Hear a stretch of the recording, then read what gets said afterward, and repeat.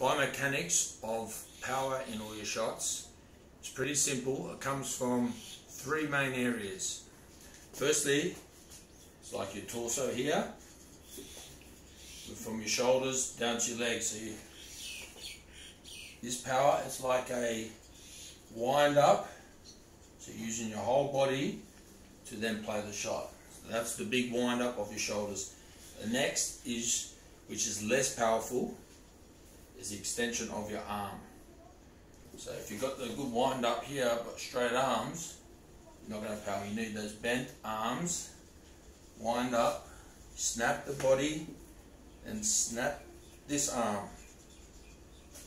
Boom. Okay, that's the one, that's two. The third one is the smallest one and the least powerful is your wrist.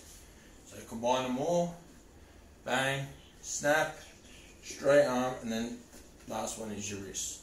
So that's basically breaking down the three spots. So you can see that's a straight six,